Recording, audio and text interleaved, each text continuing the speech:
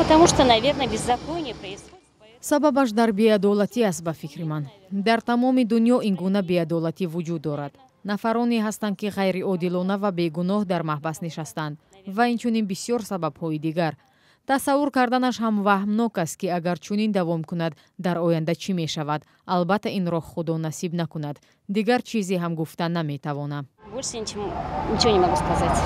Ну это наверное политика фикр мекунам ҳамаи ин кори худи сиёсат аст. Маҳбусон ҳам ба назарам бо мақомот ҳамкорӣ доранд ва дар байнашон нофаҳмие ба вуҷуд омаду ин гуна ҳодиса рух дод.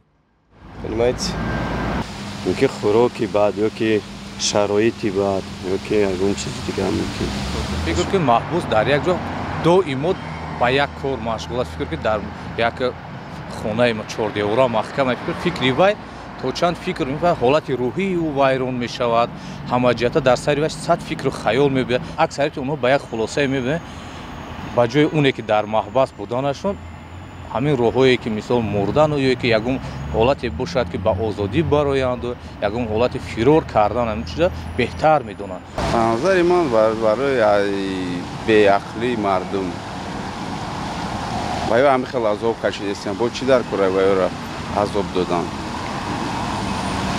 то и дараҷара баранд ки одамо бунд кунанд ва штагиам дурутер омада уже ҷазошона бурдестиям яъне ки азоб медиҳад ба фикри ман ҳамин коргарои термах чун айб дорам ҳамин хел провотсироват кардан мекунам ба фикри ман ҳамин айва ё ҳамин эътиқодшон ба ҳамин давлати исломия аз барои аввал ҳамин коро мешавад ман ба забони русӣ фанатик мешавам фанатизм рӯи ҳамин мешавад ҳамин коро дар маҳбасҳо хай бо бисёрш мож